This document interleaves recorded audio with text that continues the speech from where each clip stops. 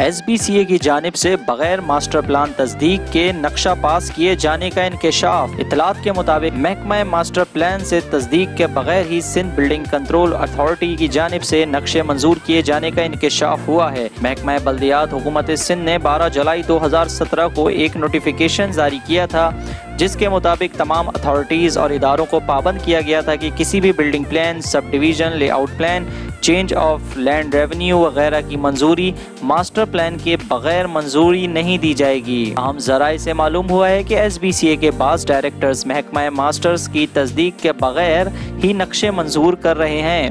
ذرائع کا کہنا ہے کہ سابقہ تین ڈائریکٹر جنرل نے بھی اس جانب توجہ نہیں دی اور بڑے پیمانے پر حکومتی نوٹیفیکیشنز کی خلاف ورزی کی۔ دو ہزار سترہ سے اب تک ہزاروں نقشے منظور ہو چکے ہیں جو آئندہ آگے چل کر ایس بی سی اے افسران کے لیے کسی بڑی پریشانی کا سبب بن سکتے ہیں۔ تفصیلات کے لیے وزٹ کیجیے ہماری ویب سائٹ www.propertypost.com.pk اور ہمارا یوٹیوب چینل سبسکرائب کیجیے